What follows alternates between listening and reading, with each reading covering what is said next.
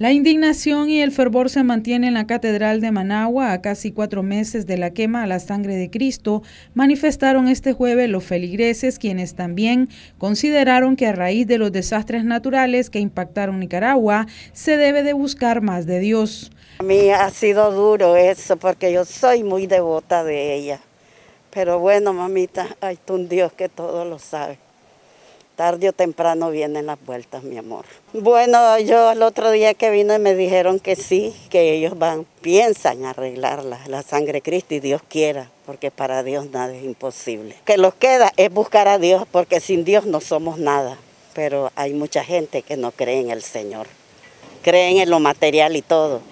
Y eso uno debe pensar primero en el Señor y dar gracias al Señor por todo lo que Él nos da, porque sin Él no somos nada que no se alejen de Dios, porque Dios solo es uno para todas las naciones. O sea, no es para las religiones, es para las naciones. Pues esto que usted... mire, quien está manejando la situación en el mundo se llama Satanás. Es para todas las naciones, no solo para Nicaragua. Y en Nicaragua estamos bendecidos. ¿Sabe por qué? Mire dónde estoy yo. Tenía rato de no venir, pero hoy me arrimé porque tuve el llamado de Dios. La vida se la debo al Señor. ¿A través de quién? La sangre de Cristo tiene poder. Que se arrimen más al Señor. Sangre de Cristo, sálvanos. Sangre de Cristo tiene poder. Y nuestra madrecita, la Virgen de Fátima.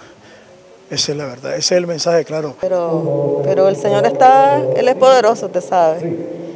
Y, y Él de ahí de la ceniza se va a levantar porque Él es el que el dueño del universo, de todo.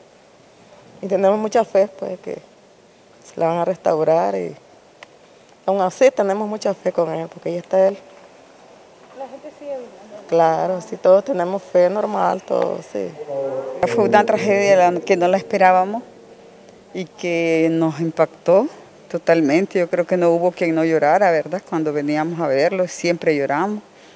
Pero tenemos una gran fe que Él está ahí, que nos está viendo, que nos escucha. Y yo le digo a todas las personas que, que todos los problemas solo Dios los resuelve.